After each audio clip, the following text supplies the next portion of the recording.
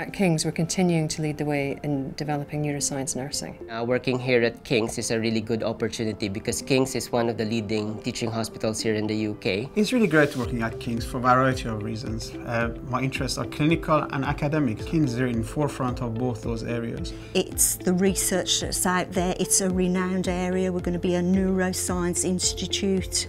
So it's, it's that name and what comes with it.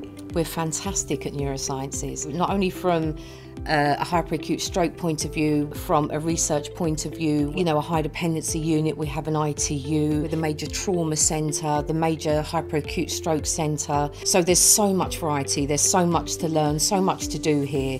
You would never get bored. Uh, and we've got uh, the most comprehensive centre, I think, that is available. And our services are probably the most subspecialised in the country.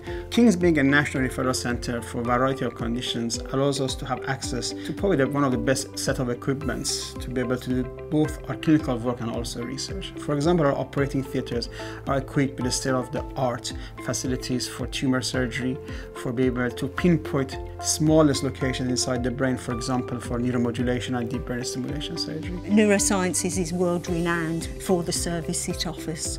And we're doing exciting things. We're doing things which nobody else has done. Not only within London, abroad as well. Everyone knows about King's College.